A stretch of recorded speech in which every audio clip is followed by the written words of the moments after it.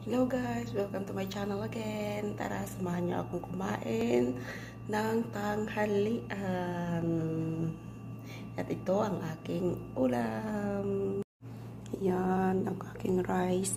Yan ang aking ulam, ang masabaw na sinigang na hipon. With, ano ba yung nilagay ko? Umbok ata yun. Yun. Bagyo garbage. Yun yun. Basta yun na yun and my rice na kalahati na. Tara, kain tayo guys.